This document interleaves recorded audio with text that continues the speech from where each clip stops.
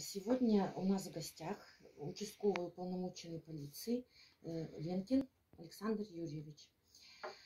И сегодня хотелось бы побеседовать с вами о значит, 31 федеральном законе, э, который э, называется «О внесении изменений в Кодекс Российской Федерации административных правонарушений». Так, значит,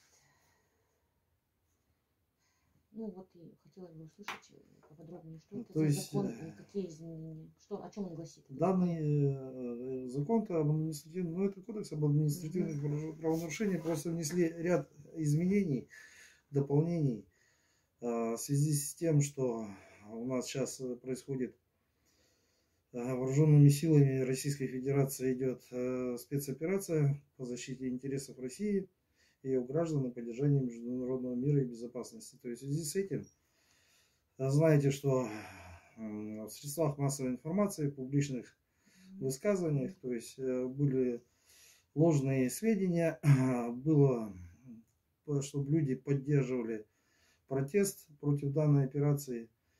И в связи с этим были внесены изменения, то есть э, касающиеся данного, данной вооруженной операции. То есть статья 20.3, прим 3. То есть это публичные действия, направленные на э, дискредитацию использования вооруженных сил Российской Федерации в целях защищения интересов Российской Федерации и ее граждан, поддержания международного мира и безопасности. И то, э, статья 20.3, прим 4, это призыв, призыв к введению мер ограничительного характера в отношении Российской Федерации, граждан Российской Федерации и российских юридических лиц. То есть это когда поддерживают а, люди, ну, призыв дают а, то, что внести санкции против России, ну и российских граждан, либо юридических лиц Российской Федерации. То есть, что подразумевается, нет, наверное, давайте так, данные Протокол об административных правонарушениях, точка 23, прим 3, э, составляется должностными лицами органов внутренних дел полиции.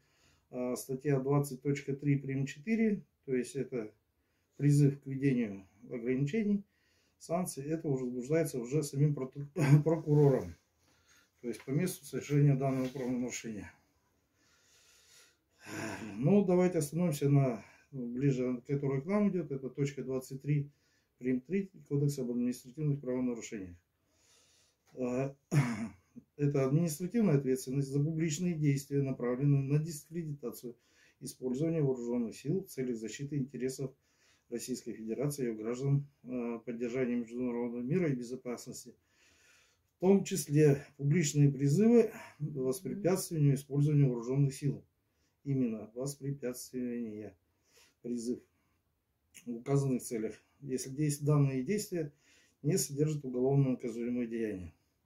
Санкции данной статьи подлежит, то есть на граждан от 30 до 50 тысяч, на должностных лиц от 100 до 200 тысяч рублей, да, на юридических лиц от 300 до 500.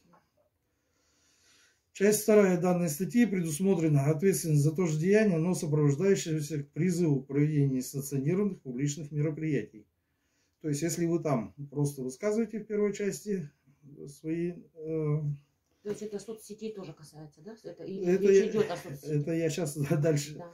просто сейчас угу. расскажу.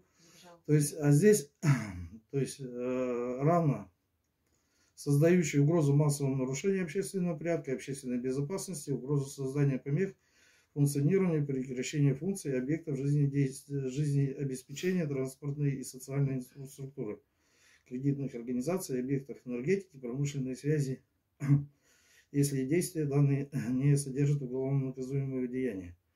Здесь уже на граждан накладывается от 50 до 100 тысяч, должностных лиц от 200 до 300 тысяч, на юридических от 500 до миллиона.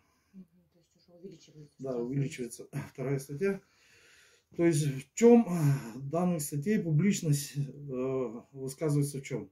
Осуществление в присутствии лиц, может э, в присутствии многих лиц.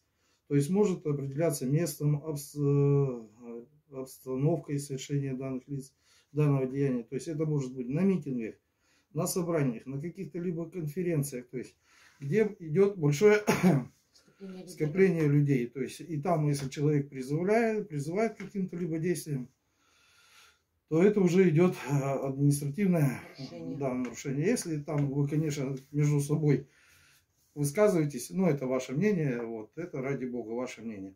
А если уже вы вышли с публичным призывом и высказыванием данных действий, то это уже идет административная ответственность. да.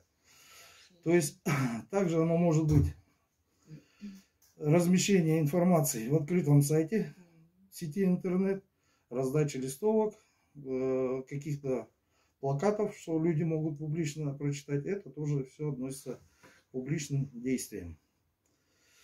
Дискриминация, что направлено на подрыв доверия к решениям органов власти Российской Федерации по использованию вооруженных сил ну, в тех же своих целях, э, оно может быть распространением э, неправомерной, искажающей, либо заведомо ложной информации в целях принятия решения. То есть, когда вы дискредитируете вооруженные силы, то есть, что там э, публикуете ложные какие-то данные, непроверенные данные, даже если вы взяли с другого сайта и разместили на своей страничке непроверенные данные, вы также идете, э, Несете ответственность. несете ответственность, да.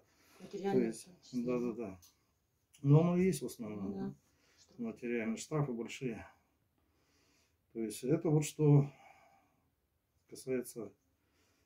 Ну, публичный призыв, это я уже сказал, в любой форме, ну, без разницы в каком. Может, с использованием технических средств, то есть рупором, вы идете там по улице, вот, тоже это все идет к публичности относится. Ну и если идет совершение публичным призывом с использованием технических средств, сети интернет, также видео каких-то программ с помощью теле, радио, вещания. Это все вот, то есть подходит ко второй статье. Ну, несанкционированным публичным мероприятием это следует понимать, что когда людей э, э, подвергают на идти какой-то либо митинг, э, какое-то либо собрание, именно агитация, да, уже в это, либо действием, побуждающим на противодействие органам государственной власти, сотрудникам полиции, вовлечение также сюда же несовершеннолетних детей. Это вот э, последнее такое было тоже нововведение, когда у нас было по Навальному, и в основном-то задействованы были несовершеннолетние. То есть это тоже все относится, э, ну, подпадает под административную ответственность. Ну, в принципе, здесь и все. Такого-то. То есть закон вступил в силу 4 марта. 4 марта, да. То есть сейчас он уже идет. У нас есть э, отдел, так называемый К, который отслеживает Мгм. все вот эти в сети интернет. А, Потом нам присылают.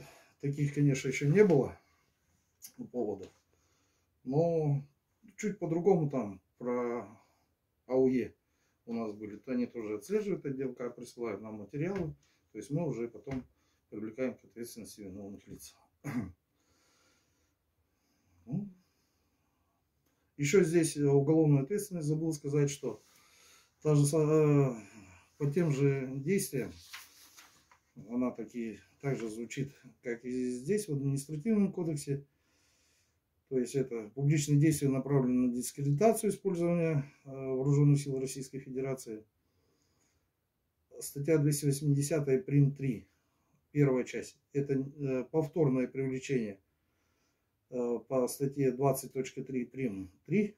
То есть, если человека уже привлекали по данной статье, повторно. повторное, он идет уже к уголовной ответственности. Там уже штрафы идут от 200 до 300 на э, физическое лицо. Ну, и на должностное там все больше. Вторая часть, если были, то есть призывы к митингам, и они понесли какие-то последствия, неумышленное убийство, ну, то есть э, давка всякая бывает, либо какие-то погромы в связи с большим материальным ущербом причиненным. То есть вторая часть уже идет, может, лишение свободы до пяти лет лишения свободы. До лишения Да. свободы. Все понятно. Спасибо большое. Ну что, лично э, хотите добавить, ну, прокомментировать как-то еще? Ну, в сети у нас же сейчас много, все в сети интернете, в интернет. Смотрите, не поддавайтесь панике. Проверяйте какую-то либо информацию.